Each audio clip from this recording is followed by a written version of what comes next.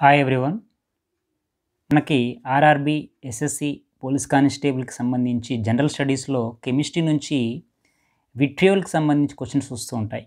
Vitriol అంటే ఏంటి? లేదా red vitriol green vitriol blue vitriol white vitriol black vitriol యొక్క కెమికల్ కంపౌండ్ ఏంటని అడుగుతూ ఉంటాడు ఎక్కువగా. అయితే ముందుగా విట్రియోల్ అనే పదానికి మీనింగ్ చూద్దాం.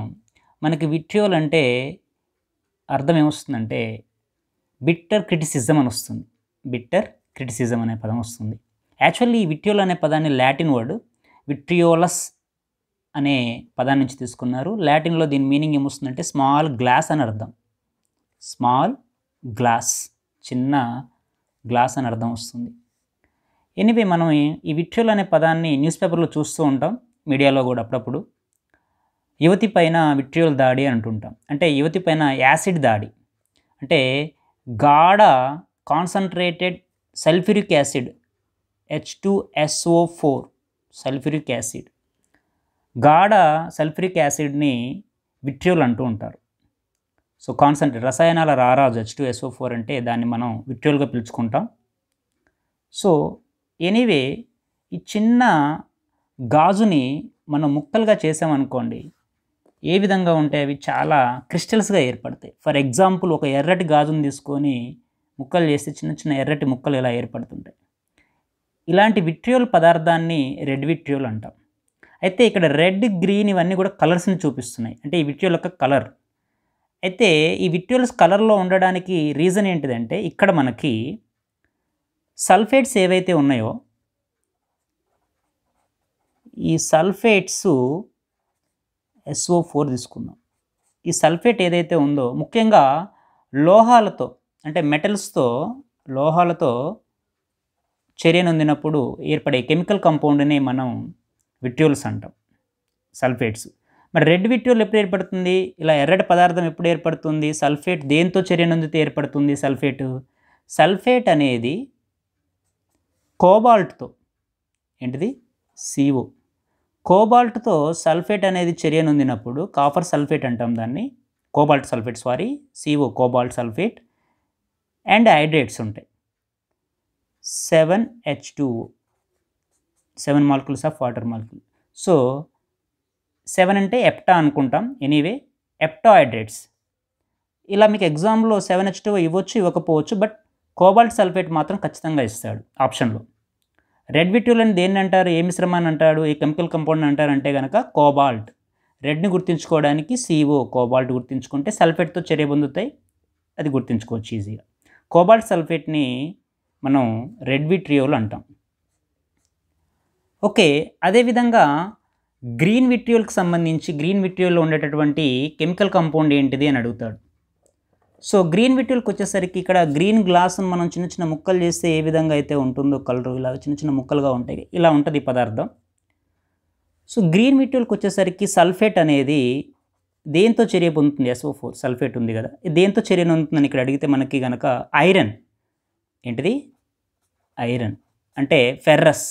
FE so FE SO four ferrous సల్ఫేట్ని మనం గ్రీన్ విట్రియోల్ అంటాం. దీంట్లో కూడా seven H two O hepta hydrates ferrous సల్ఫేట్ని మనం గ్రీన్ విట్రియోల్ అంటాం. అది చూడడానికి ల్యాబొరేటరీలో మనకి ఇలాగా గ్రీన్ కలర్లో క్రిస్టల్స్లా చిన్న చిన్న స్ఫటికాల రూపంలో ఉంటుందన్నమాట ఇలాగా. గాజుని గ్రీన్ గాజుని మనం ముక్కలు చేస్తే ఎలా ఉంటుందో అలా ఉంటుంది material.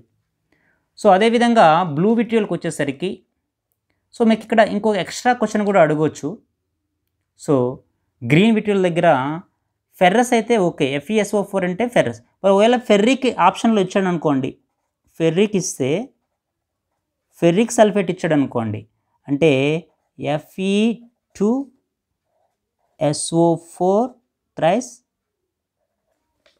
టెకిన్ thrice S O four three దీన్ని ఫెర్రిక్ సల్ఫేట్ అంటాం. ఈ ఫెర్రిక్ సల్ఫేట్ అనేది గ్రీన్ విట్రియోల్ కాదు గుర్తుంచుకోవాలి మీకు ఇది ఇక్కడ. అందుకే చెప్పడం జరుగుతుంది ఎక్స్ట్రాగా కాకుండా ఇక్కడే. ఈ ఫెర్రిక్ సల్ఫేట్ అనేది గ్రీన్ విట్రియోల్ కాదు దీన్ని విట్రియోల్ ఆఫ్ మార్స్ అంటారు. ఏంటిది? Vitriol of Mars MARS vitriol of Mars గుర్తుంచుకోండి. సో అదేవిధంగా బ్లూ విట్రియోల్కి వచ్చేసరికి ఇక్కడ సల్ఫేట్ అనేది దేంతో చర్య పొందుతుందంటే కాఫర్ ఏంటిది? సియు కాఫర్ సల్ఫేట్ ఇక్కడ ఎప్టాయిడేట్స్ ఉండవండి. ఇక్కడ పెంటానే ఇది గుర్తుంచుకోండి. ఫైవ్ హెచ్ టూ బ్లూకి వచ్చేసరికి. Copper sulphate. కాఫర్ అనేది సల్ఫేట్తో చర్య పొందినప్పుడు మనకు ఏర్పడేది బ్లూ విట్రియోలు. ఈ క్రిస్టల్ ఇలాగ చాలా బ్లూ కలర్లో ఉంటుంది. ఈ స్ఫటికాలు. ఇక్కడ మీకు రెడ్ గ్రీన్ బ్లూ వరుసగా ఎందుకు రాశానంటే మీ కంప్యూటర్లో చూసుకున్నట్లయితే పెయింట్లో ఆర్ జీ బి అని మీకు ఒక ఆప్షన్ ఉంటుంది. రెడ్ గ్రీన్ బ్లూ కలర్కి కాన్షియస్కి సంబంధించి. అందుకే ఇలా గుర్తుంటుందని రెడ్ గ్రీన్ బ్లూ రాయడం జరిగింది వరుసగా. సో ఇక్కడ బ్లూ అనేసరికి మీకు గుర్తుంచుకోవాల్సింది కాఫర్ గ్రీన్ అంటే ఫెర్రస్ రెడ్ అంటే కోబాల్ట్ ఓకే దెన్ నెక్స్ట్ వచ్చేసరికి మనకి వైట్ విట్యూల్కి వచ్చేసరికి ఈ వైట్ విట్యూల్ని సల్ఫేట్ అనేది దేంతో ఏ మెటల్తో అంటే జింక్ అండి. Zinc sulphate heptahydrates so zinc sulphate అనేది వైట్ విట్యూల్ని ఏర్పరుస్తుంది వైట్ కలర్లో ఉంటుంది. సో అదేవిధంగా బ్లాక్ విట్యూల్కి వచ్చేసరికి లాస్ట్కి ఇక్కడ మీకు ఏవైతే కోబాల్ట్ ఉందో కాపర్ ఉందో లేకపోతే మెగ్నీషియం కావచ్చు అల్యూమినియం కావచ్చు లేకపోతే ఫెర్రస్ కావచ్చు ఈ మెటల్కి సంబంధించినటువంటి సల్ఫేట్స్ అన్నీ కూడా మిక్స్డ్గా S O four and heptahydrate ఇవన్నీ కలిస్తే దాన్ని మనం బ్లాక్ విట్రియోల్ అంటాం. ఏవైతే కోబాల్ట్ కాఫర్ మెగ్నీషియం అల్యూబిషియం పెరియస్ ఇలాంటి మెటల్స్ అన్నీ కూడా సల్ఫేట్స్తో కలిసినప్పుడు అది ఏర్పడేటటువంటి మిశ్రమాన్ని మనం ఇక్కడ ఏమంటాం అంటే బ్లాక్ విట్రియోల్ అంటాం.